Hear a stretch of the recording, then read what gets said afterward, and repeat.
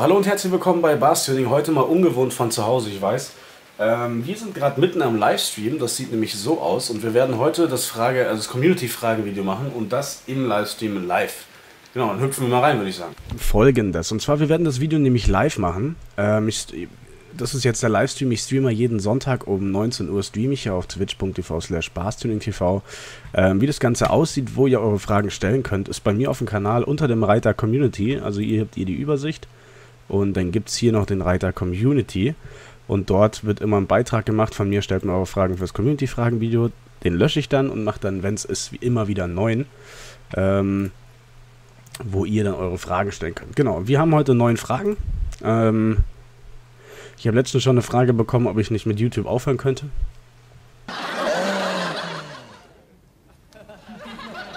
Nein! Äh, das beantwortet eine Frage. So, der Michi fragt. Der Michi Blaubeck ist übrigens auch Moderator hier im Stream. Der hat schon vor einer Woche gefragt. Bekommt Franny eine eigene Videoreihe? Schwierig. Ähm, ursprünglich ist geplant, dass sie ein eigenes Projekt bekommt. Ähm, zurzeit könnte es eventuell ein Golf 3 Cabrio werden, was ihr Projekt wird. Sicher kann ich es natürlich nicht sagen. Das heißt, äh, wir werden das auf jeden Fall, wir werden da mal schauen. Sie sollte ja ursprünglich sollte sie ein S3 bekommen. Wer es mitbekommen hat im Vlog.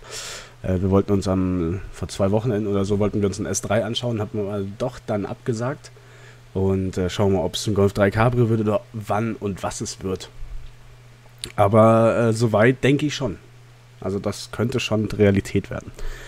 Bekommt, der Dominik fragt, bekommt man den 16V Golf 3 auf 4x100 umgebaut? Wenn ja, wie? Ich wüsste nicht, warum man den, den, den 5x100er Lochkreis umbauen sollte auf 4x100.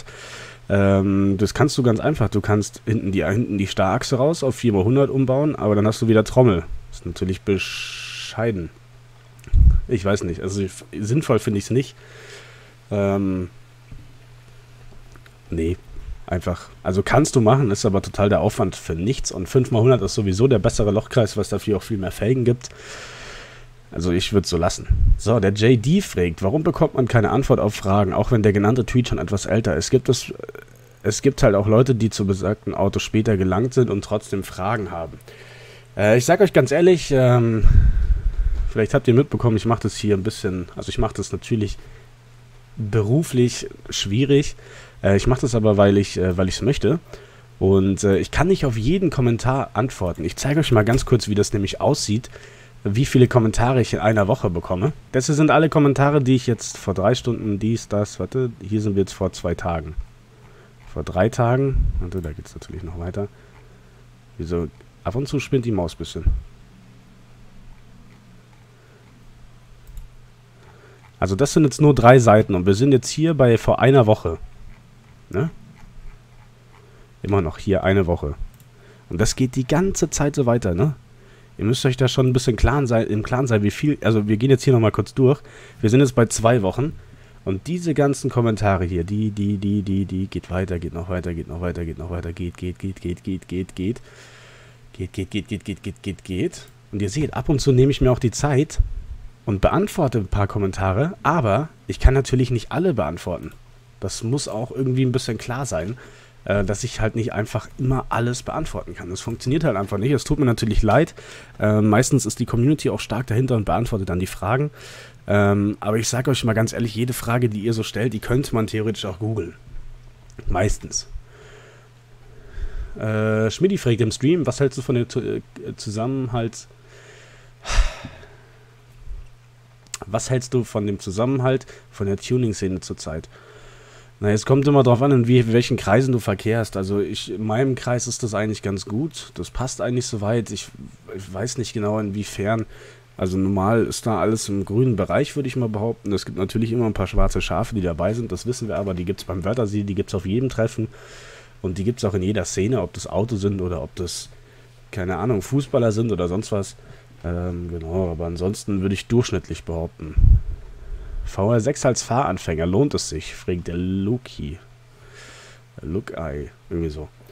Ähm, na, was heißt lohnt es sich? Es ist natürlich, der VR6 ist da halt doch relativ anfällig ähm, und doch relativ stark, 174 PS oder 190 PS als Synchro. Ob sich das für einen Fahranfänger lohnt, ich sage euch ganz ehrlich, also die Teile sind günstig. Ne? Teile sind günstig VR6 zu unterhalten, wenn du vielleicht noch in der Lehre bist, als Fahranfänger sehr häufig so. Schwierig, ist aber machbar. Ich habe mir auch einen VR6 als dritten Golf geholt. Wie alt war ich da? 20? Also, es geht auf jeden Fall. Was sagst du zu vergleichbaren Opel-Fahrzeugen mit Golf 3 ETC auf gleichem Niveau mitspielen? Astra F und G, fragt der Opelaner. Ähm, ich sage ich sag dir ganz ehrlich, ich habe mich mit Opel noch nie beschäftigt. Also ich denke mal, dass der Astra F bzw. der Astra G da in der Zeit eigentlich so ein, Kon also ein krasser Konkurrent dazu war. Ähm, ich krieg's jetzt halt nur von der Golf-Szene so mit und nicht von der Opel-Szene. Also was jetzt genau vergleichbare Fahrzeuge sind, damit habe ich mich nicht beschäftigt. Muss ich halt wirklich zugeben. Ich denke mal, Opel hat schon ein paar Kandidaten, die die da ins Rennen schicken können. Opel baut ja auch schöne Autos. Hat schöne Autos gebaut und baut teilweise auch noch schöne Autos. Immer noch. So muss ich das ausdrücken, ohne dass sich jemand, äh, ne, ohne jemand auf den Schlips gefühlt, Schlips getreten fühlt. Genau. Sonys Garage. Grüß dich, mein Bester. Würdest du auch kleinere, andere YouTuber supporten? Ich supporte nur Leute, die mir gefallen, die ich auch selber schaue. Support ist kein Mord, das weiß ich. Ähm, bloß ich muss euch ganz ehrlich sagen, früher habe ich auch auf Support gehofft und ich habe gar nichts bekommen. Ähm, oder ziemlich selten. Und äh, ich weiß das, wie das als kleiner YouTuber ist. Ich bin ja immer noch ein kleiner YouTuber, aber äh, wie das als ganz, ganz kleiner YouTuber ist, äh, da in so eine Menge reingeschmissen zu werden und keine Hilfe zu bekommen, ist schwierig. Also ich, ich supporte nur Leute, die ich kenne. Beziehungsweise Leute, mit denen ich mich auch selber identifizieren kann, die ich mir auch sehr gerne anschaue. Da musst du halt gewissen Content bringen. Was wäre dein Traumprojekt, wenn keine Rolle spielt? Ja, das ist, äh, uh, dem Schmidt will wieder FFA spielen. Ähm, schwierig. An Fahrzeugen ich würde gern so ein VR6 Turbo bauen, aber so ein richtiges Gerät. Beziehungsweise eigentlich so ein Golf. Traumprojekt. Also ich sag dir ganz ehrlich, mein Traumprojekt hat eigentlich nichts mit Autos zu tun. Mein Traumprojekt wäre eigentlich eine riesengroße Werkstatt. Keine öffentliche, sondern einfach nur für den Kanal, wo ich die Autos zerlegen kann, dies, das. Wo ich auch genug Platz habe. Das wäre ein geiles Projekt für mich. Aber in Autoprojekte. Ich würde gerne mal ein paar, paar, paar Videos bei einem Lamborghini machen ja, hier tauscht man das und so. Das wird, das wird mich reizen. Das finde ich gut. Muss ich so mal, so mal gestehen. Hallo, äh, was steht als nächstes für was? Oh Mann. Was steht als nächstes für Veränderungen an deinem Golf an? Du hattest doch mal vor, ihn neu zu verlieren. Das ist richtig, ich hatte mich für Lila entschieden, habe äh, diese Entscheidung aber relativ schnell wieder verworfen, weil äh, ich Lila halt doch nicht mehr so feier, wie am Anfang. Deswegen, also verliert wird er auf jeden Fall. Wann kann ich allerdings noch nicht sagen. Ähm, das werden wir auf jeden Fall noch mitbekommen bzw. sehen. Ähm, schauen wir mal. Schauen wir mal. Aber die nächsten Veränderungen wird jetzt auf jeden Fall sein. Ähm, ich denke, ein anständiger Luftfilter wird noch reinkommen, weil die Airbox haue ich dann raus aus Echtcarbon. Denke ich mal soweit. Und ja, ich weiß noch nicht genau, wo die Reise hingeht. Da muss ich mir noch ein paar Gedanken machen. Aber verliert wird er auf jeden Fall und ich schätze auch vor dem Wörthersee. Für nächstes Jahr. So. Kommt irgendwann mal ein Diesel-Tuning-Projekt? Ist die letzte Frage von Mr. Gurkit. Ähm, schwierig, schwierig. Ähm, ich kann mich mit dem Diesel gar nicht so identifizieren. Es kann natürlich mal sein, dass ich mir mal einen Diesel holen werde, aufgrund von Langstrecken. Kann ich aber nichts versprechen und ist jetzt erstmal auch nicht geplant.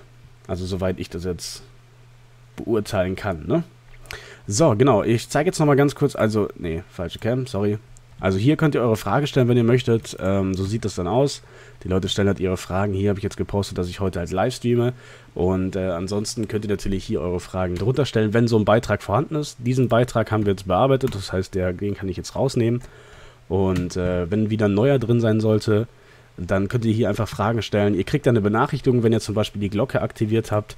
Wenn ihr Bock habt, eine Frage zu stellen, aktiviert die Glocke oder schaut da halt ab und zu mal rein. Ähm, dann könnt ihr auch Fragen stellen. Normalerweise mache ich sowas auch bei Instagram oder sowas poste ich. Dort könnt ihr mir natürlich auch folgen ja, gibt es im Grunde noch viel mehr zu, zu, sagen.